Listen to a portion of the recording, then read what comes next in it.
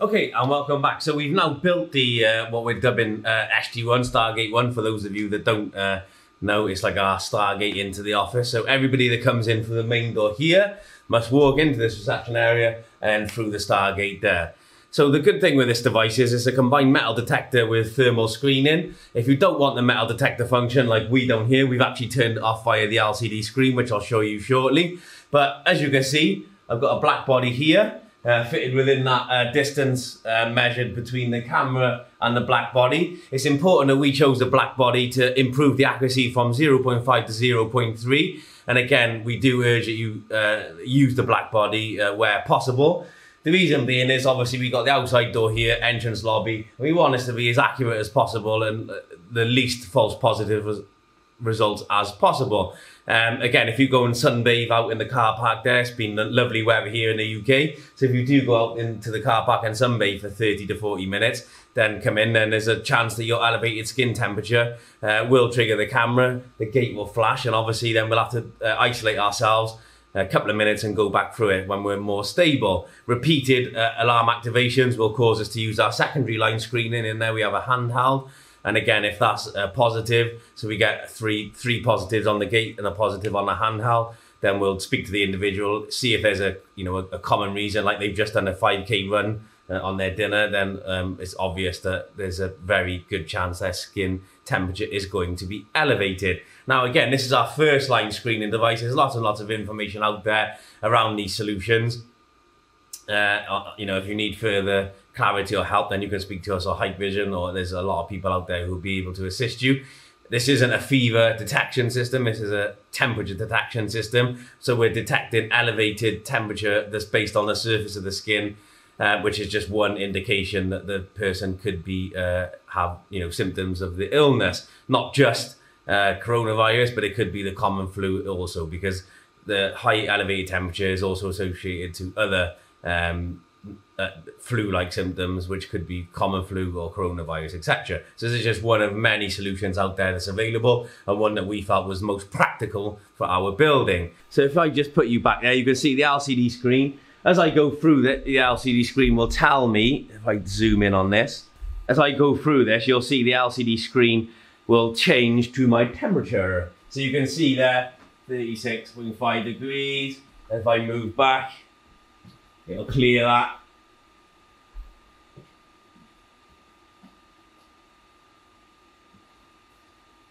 And again, as I go through,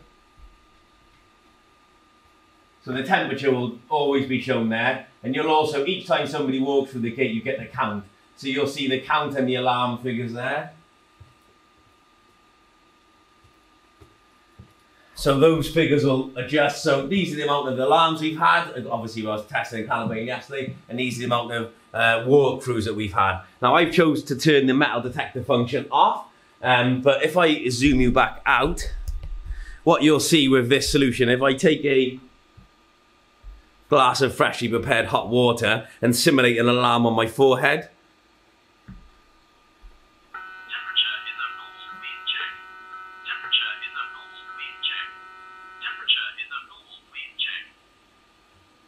So again, you get the camera visual and audible on there, plus the gate alarms. So that'll go red. So it's backed up by the two devices together. And what you'll see there is the alarm temperature's got it from 36 to 37. It'll read my temperature if I show that. So it's showing 61.3 degrees. Uh, and the fire door just shut. How apt. Um, again, so the temperature of this water was from an urn. So it's about 75 degrees when I poured it, so very quite accurate. Uh, 36.5 degrees detected. The alarm at the gate goes, plus the alarm on the camera. And what actually happens now is um, on my phone, there's a group of us individuals, let's say, and you'll see on my phone, I've got an email with the images. So the email shows the temperature of the color and also the thermal image. So then we can go and isolate that person and then ask them to retest. So our, our procedure here is if the there's only a small amount of people in the building, But if this gate does trigger, then we expect them to go around the corner in the holding area for a couple of minutes, retest. If it goes again, stand around there. And again, the emails will be sent to the, a group of individuals where we can then go and speak to the individual, second line screen them, and take it from there. So everybody's procedure will differ. Uh, we could use a MinMoe, um, but we've decided for the gate. The good thing with this gate is,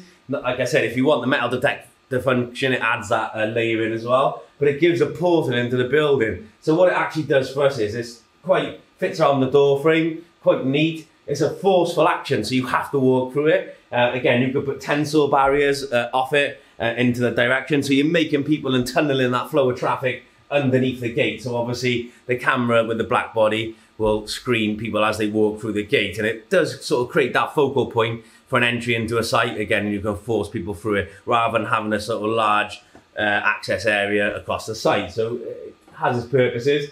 When you've taken out the flat pack, it's a simple two panels, two cross members, and a metal plate there. They bolt together, screw in. It takes about 30 minutes to fit it. So these screw into the side. The cables connect up to this. That camera plugs into their RS405, and then you just power the mains. So you take a mains power supply into there and into the socket, and it literally is about 30 minutes, and you do have this up and ready to go. And again, update the camera to the latest metal detector firmware, fit the black body, calibrate it, so an additional 30 minutes for that. So obviously once this is set up, you need to leave it for 90 minutes to stabilize in that environment anyway. Um, if you do want to use the metal detector, it's as simple as this. So you can go into the keypad. Let, let me just sort of show you. Uh, along here, lots of different options. Um, you can choose for the infrared, admin, frequency, application, security level, sensitivity. So you can log in here.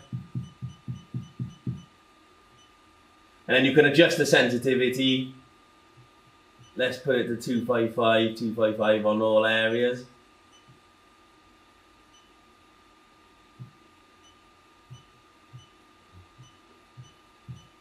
Right, so I've set this the sensitivity to 255, 255.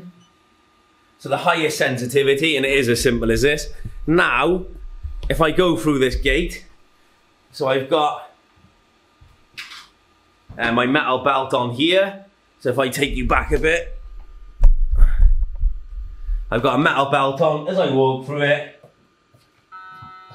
you can see alarms because it I'm not over temperature, but I have metal upon me. There we go. And that there is indicating around where the metal. So I've got metal on my shoes, I've got metal in my pocket, uh, coins, keys, metal on my belt. So you can sort of see visually where that is indicating. So I had two indicators, one because I got metal boots on down the bottom, plus I got metal, phone, keys, etc. in my pocket on this side with a metal belt all around that area. So it's a key visual indicator of where that object is. So if you're in an area where um, metal objects aren't allowed to be taken in or out, you can obviously add the metal detector function, change the sensitivity, and obviously use that secondary line as a security as well. So if it's like a core, uh, you know, like for guns, knives, uh, weapons, that kind of thing, like, you know, similar to an airport, I guess uh, you can use that function if you need to have that add that layer of security. So it's a two-in-one device. Uh, hopefully you found this video useful. Any questions, please ask your really helpful DVS sales staff um, or Hikvision themselves. Wherever you are in the world, please stay safe. And my thoughts go out to everybody in America right now. I'll see you next week for another how-to video. Stay safe, stay tuned, stay subscribed. Take care, guys.